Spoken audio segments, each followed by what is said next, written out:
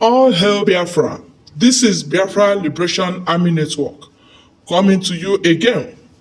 Please do subscribe, like, share, and comment. Uh, Mazi Nnamdi Kanu's um, lawyer was actually harassed and attacked on camera. Yes, my people, this is a very, very, this is just to show you the amount of people that have hate for anything or anyone that is connected to the Biafra freedom. And that is the issue we keep having every now and then. The fact that uh, there are people that are not even um, that are not that are not concerned or they, they are people that are not even anywhere close or anywhere that thinks or wants to hear anything that wants or connects to the Biafra movement and they are not uh, in any way liking to it.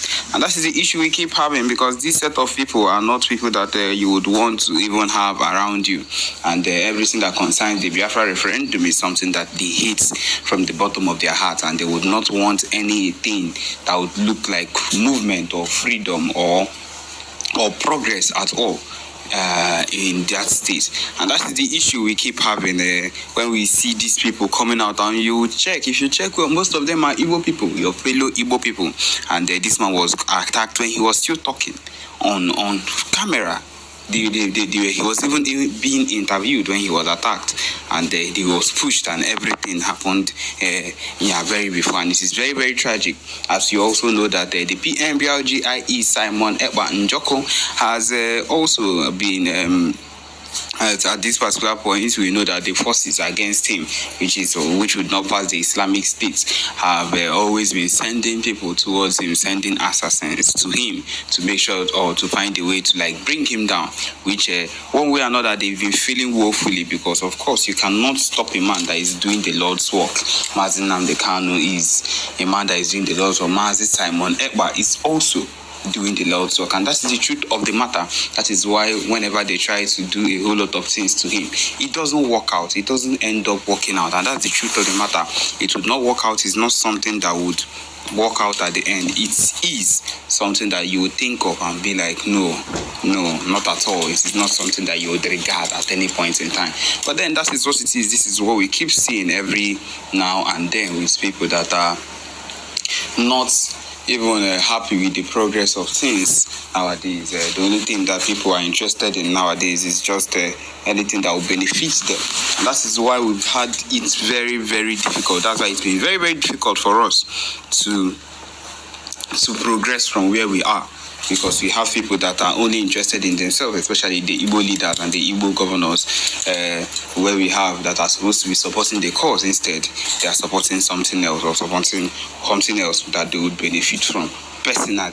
And that is an issue, a very big issue at the moment. But then, that's what it be uh, when things like this keep happening. It just opens your eyes to the number of things, to the number of issues and weak links we have in our very before, which need to actually be talked about and settled at the moment. And uh, the earlier we actually find the ways to actually settle it, the better for us because we cannot, I we cannot have ourselves in that particular trio of uh, things that would be happening because uh, we do not understand how these things are happening. We do not we do not even want anything like that. The only thing we've ever wanted has been the movement of the Biafran freedom. That has been the, the release of Mazi Nnamdi Kanu and also the, the release of Mazi Nnamdi Kanu and also the division of this so-called one Nigeria that had not benefited anyone at any point in time.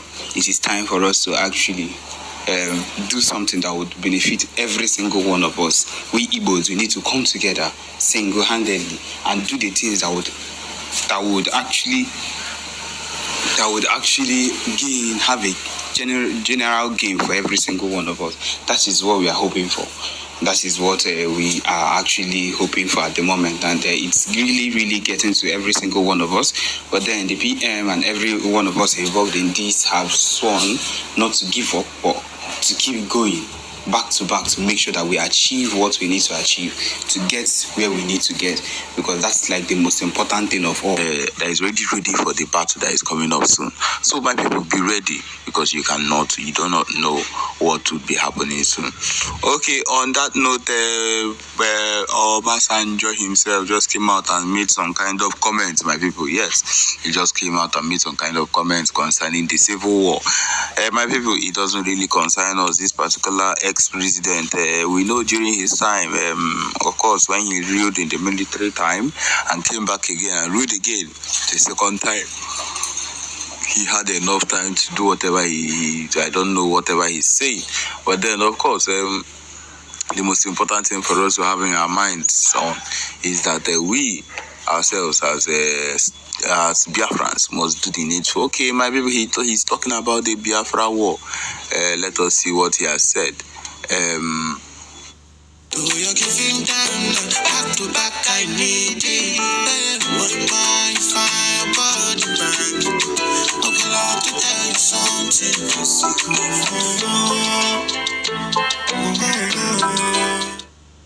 He says here, Olusegun Obasanjo, the former president of Nigeria, recently spoke at the conference on youth leadership titled Opportunities for Peace, Roles of the Youth in Conflict uh, Prevention in Africa.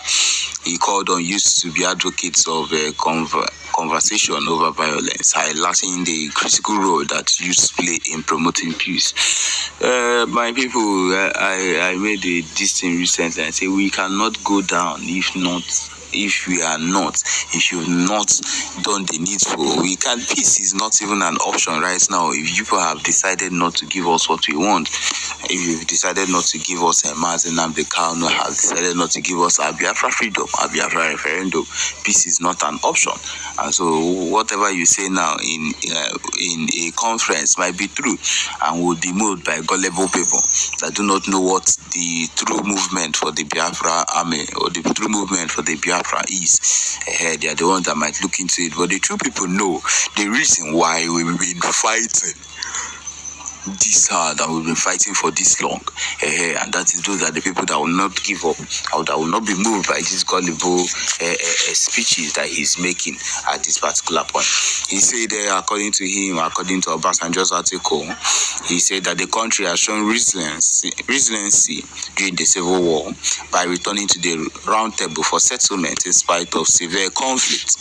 He exhorted the youths of today to adopt his, this mindset and convince those who ruling violently to think twice. Additionally, he emphasizes the significance of uh, fostering a culture of peace and empathy in the next generation. In Obasanjo's words, during the Civil War, we killed ourselves mercilessly and destroyed our best facilities, but we still came back to the round table to get the challenge resolved. Mhm. Youth must develop the culture of peace, the culture of humanness, the culture of con- of living the way God wants us to live. Okay, so now this is what uh, he is advising them to do. But then to do what is needful, we have we Biafrans have always been people of peace. We have always wanted peace in our lives. Every single thing about us has always been about peace. We are not people of war. We do not we do not want war. We have never ever wanted war. But then this is the situation you people put us into that make us want to lean to war. Yeah, of course, that is the situation. We are not people of war. He's I don't know if he's trying to say that the war and everything that is happening now is how no. The youths of nowadays, the Biafrans of nowadays are leaning into war because that is what they have pushed us into. Because that is the situation they have pushed us into. We did not just wake up one day and decide to wake up and push ourselves into war. The reason why the Nigerian army and the Biafra Liberation Army, the BLA, are clashing 24 7 is because of the fact that they have refused to do the needful. They have refused to release our leader, uh, Hamadike Mazi Nnamdi Yes, that is why we are leaning into war. They have refused also to give us what we've been asking for for the longest of times after the civil war. I believe you me, if they have given us what they want instead of leaning into the civil war, my people, I do not think we would have been here by now. I believe everywhere would have been we would have been on their own. They would have been on their own, and we would be where we are because, of course, there is no need for any war, and we would be happy with us state. And by now, I believe you me, the kind of progress we would have made would not be one to even be trifled with. But of course, now so it be, now so it hold. Uh, once you come for this conference, it will just make it look like everything that is happening now is our fault because violence is not the answer. Aneku, aneku, aneku. This is none of this is going to make the real Biafrans turn away from what is needful. Um, the people that cannot be turned, can, cannot be swayed by these gullible talks, they know the real fight and they are not going to give us. And so, on that particular note, nothing of such can make us uh, uh, give up on our fight or stop doing whatever it is we, we've been doing ever since. And so, because of that, we'll keep on fighting and doing the needful no matter what. So, yes, my people, this is